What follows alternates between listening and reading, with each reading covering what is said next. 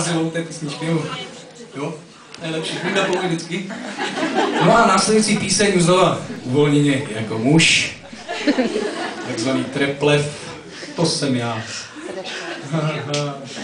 Sedí, pojďme hrát. Tak to teď zrovna bych si tě postavil, co řekneš ještě.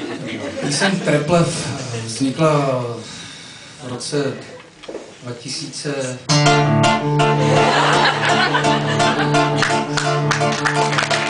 Stísnul je upraviště a prázdný papír mrtvé tělové muze. Minulost byla, není žádné příště. Píšu vám proto, že si to dlužím. Nejsem jak vy, ničím kázán pánu Bohu. Mě nikdy nepsal poznámky na okraji. To on ten být valen na vašem slovu. A mě přistoudil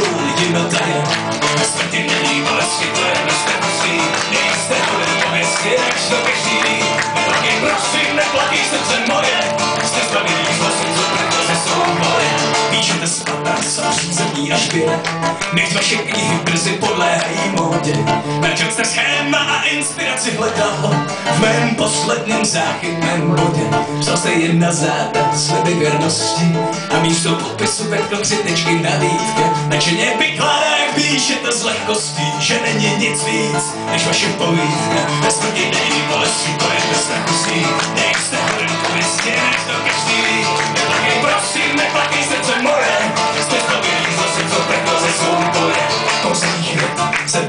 na bojišti, je slyšet zpěv opilého děčka. Ačkoliv mlád už se mě opadává listí, i tento list může tak po přečtení.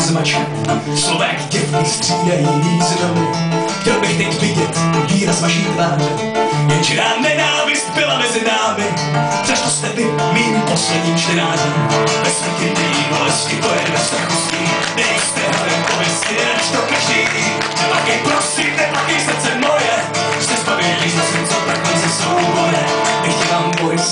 vám peklo těsné.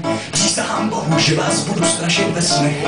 Ne v tomto světě provážen srdcem netlukou. Hřu vaši vinou se zbraní ve svých rukou. Věřte však navždy, že vám nikdy neprominu. Matku zavřela, ten však ochrání mou jinu.